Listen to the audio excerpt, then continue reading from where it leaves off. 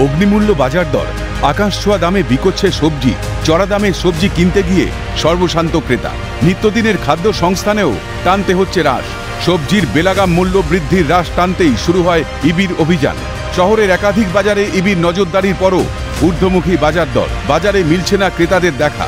বিক্রিতে ভাটা পড়ায় কপালে চিন্তার ভাঁজ বিক্রেতাদেরও মানিকতলা বাজারের ছবিও তার ব্যতিক্রম নয়। প্রয়োজনের অতিরিক্ত সবজি কেনা বন্ধ ক্রেতাদের। এই পরিস্থিতিতে সরকারের পদক্ষেপ গ্রহণ একান্তভাবে প্রয়োজন, দাবি ক্রেতা মহলে। সাধারণ মানুষ এখন কম কম কিনছে, যে এক কেজি পটল কিনতো, সে এখন আড়াইশো পটল কিনছে। সব সবজি কম করে, কোনো রকম কষ্ট করে চালাচ্ছে। আর সরকার তো কোনো পদক্ষেপ নিচ্ছে না। সরকার যে কবে পদক্ষেপ নেবে, সেটাই দেখছি আমরা। বাজারে একটা লোক দেখা যায় না, যাদের বিশেষ প্রয়োজন হয় তারাই হয়তো বাজারে আসে। ওই যেটা পাঁচশো কেনা সেটা কেন আড়াইশো, দুশো এইভাবে কিনে।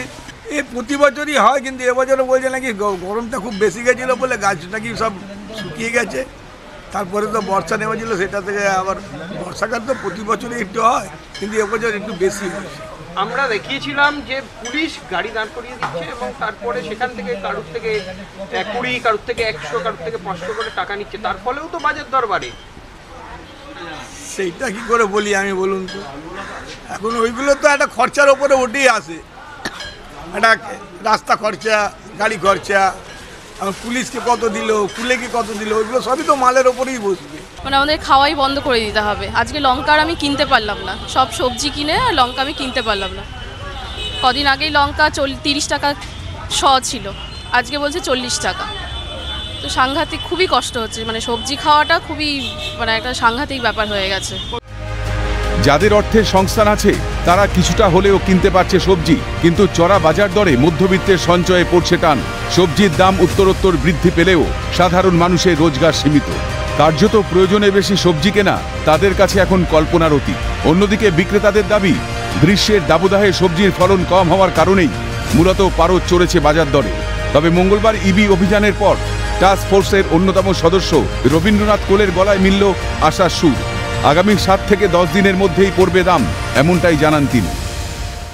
সাধারণ মানুষ যারা যারা যাদের কাছে টাকা পয়সা আছে তারা ঠিকঠাক কিনা কেনাকাটা করে নিচ্ছে। কিন্তু যারা সাধারণ মানুষ তাদের কাছে খুব টাফ ব্যাপার।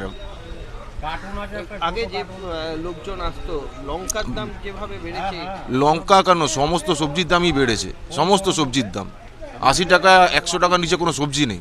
বেড়েছে ওই যে আমাদের লম্বা গরমটা গেল না একদম চল্লিশ বিয়াল্লিশ ডিগ্রি সমস্ত গাছগুলো শুকিয়ে গেছিল। এবার শুকনোর পরে যখন বৃষ্টিটা নামলো সব গাছগুলোকে পুষিয়ে দিয়েছে ফলে ফলন একদম নেই। এবার নতুন ফলন যতদিন না আসছে বাজার দর এরকমই থাকবে। যে প্রত্যেকের রোজগার তো একটা সীমিত জায়গায় রয়েছে খেটে খাওয়া মানুষদের পক্ষে খুবই প্রবলেম হচ্ছে। যে মূল্যবৃদ্ধির জন্য আজকে যে মানে যতটা কম করে নেওয়া যায় সেইভাবে করে কাজ চালাতে হচ্ছে। এ মূল্যবৃদ্ধি যে কবে কমবে সেটা আমরা জানি না। যেরকম মানুষ বাজার নিত তেমন কি নিচ্ছে? না। কারণ কারণ মালের দাম বেশি আর আমরাও বেচতে পারছি না। কি কারণে মাল ফলনের কম ফলন কমের জন্য? লঙ্কার দামটা তো অনেক পড়েছে। আমরা যখন বেরোই তখন সাড়ে তিনশো চারশো করে বিক্রি হচ্ছিল এখন একশো কুড়িতেও পাওয়া যাচ্ছে। আমরা হোলসেলেও দেখেছি দাম কমেছে আশি ষাট।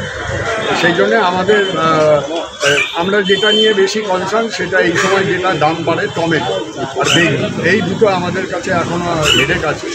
এটা কি করে কমানো যায় বা কীভাবে কমানো যায় সেটা দেখছি। বুঝে আমার মনে হয় আগামী সাত দশ দিনের মধ্যে বাজার অনেকটা আরও এদিন মানিকতলা বাজারে বাজার দর ছিল কিছুটা এরকম। আলু বাইশ থেকে পঁচিশ টাকা প্রতি কেজি ওল আশি থেকে একশো টাকা প্রতি কেজি বেগুন একশো কুড়ি থেকে একশো তিরিশ টাকা প্রতি কেজি কাঁচা লঙ্কা দুশো টাকা প্রতি কেজি টমেটো একশো পঞ্চাশ থেকে একশো ষাট টাকা প্রতি কেজি পটল ষাট থেকে আশি টাকা প্রতি কেজি বরবটি আশি থেকে একশো টাকা প্রতি কেজি, বিনস দুশো টাকা প্রতি কেজি, লাউ চল্লিশ থেকে পঞ্চাশ টাকা প্রতি পিস, উচ্ছে আশি থেকে একশো টাকা প্রতি কেজি, ক্যাপসিকাম একশো পঞ্চাশ টাকা প্রতি কেজি, ঝিঙে আশি থেকে নব্বই টাকা প্রতি কেজি, ঢ্যাঁড়স একশো থেকে একশো দশ টাকা প্রতি কেজি, রসুন দুশো থেকে দুশো পঞ্চাশ টাকা প্রতি কেজি, পেঁয়াজ পঁয়ত্রিশ থেকে চল্লিশ টাকা প্রতি কেজি। পুলিশের তরফ থেকে যেভাবে টাকা নেওয়া হচ্ছে, সেখানেও কিন্তু বাজারের ওপর প্রভাব পড়ছে। যদিও যারা চাষি রয়েছেন, তারা স্পষ্টতই বলছেন যে ফলন কম হচ্ছে, পচে যাচ্ছে বাজার। ফলে জিনিসের দাম বাড়ছে এখনও বাড়বে। এনফোর্সমেন্ট ব্রাঞ্চের তরফ থেকে কিন্তু ইতিমধ্যেই সব বাজারগুলোতে তদারকি করা হচ্ছে এবং তাদের তরফ থেকেও নজরদারি চলছে। জিনিসের কেন এত দাম বাড়ছে, সেই বিষয়টাও কিন্তু তারা প্রশ্ন করছেন।